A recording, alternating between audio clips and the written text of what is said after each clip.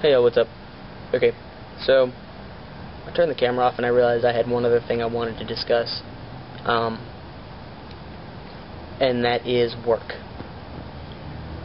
I, I mean, obviously I pass 100%, but nobody at work has any idea as to my past. Um, and it's it's really great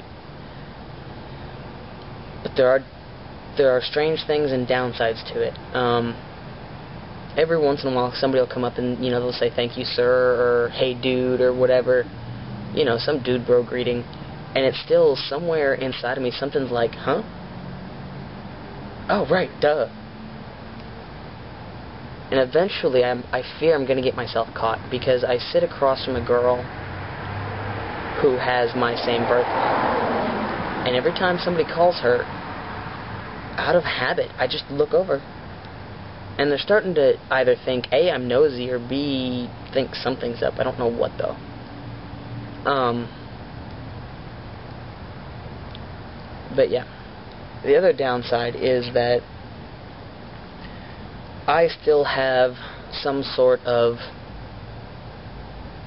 homo, queer, whatever you want to call it, all over me.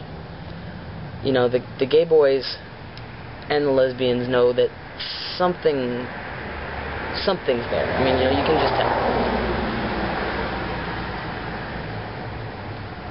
And I feel really bad because I do my best not to associate with them.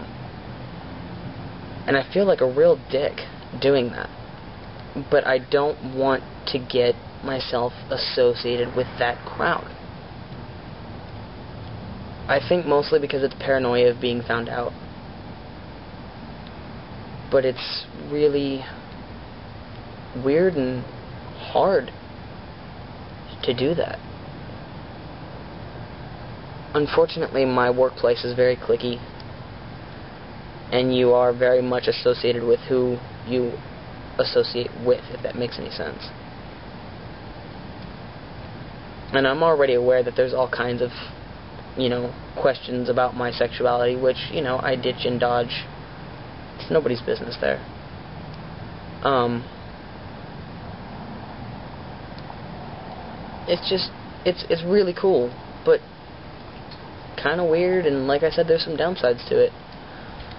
But other than you know the whole that whole thing, my new job is going great. I like it. I seem to be pretty good at it. Um, yeah. So that's that. Um, things are calming down, so hopefully I can start making more videos, although now that I'm one year on T, there's no, you know, T updates.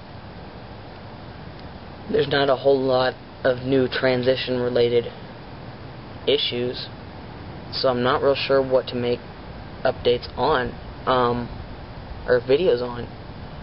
I'm sure that there's topics people would like to see me make videos on, and if you have one, shoot me a message on here because I don't want to I don't want to be I don't want to do what so many other trans guys seem to do. You know, they they've got these great channels going while they're going through transition, and then they get to the kind of sort of post-transition phase of life and fall away from the community here. And I've gotten so much help, support, and love from you guys on here. I don't I don't want to fall away.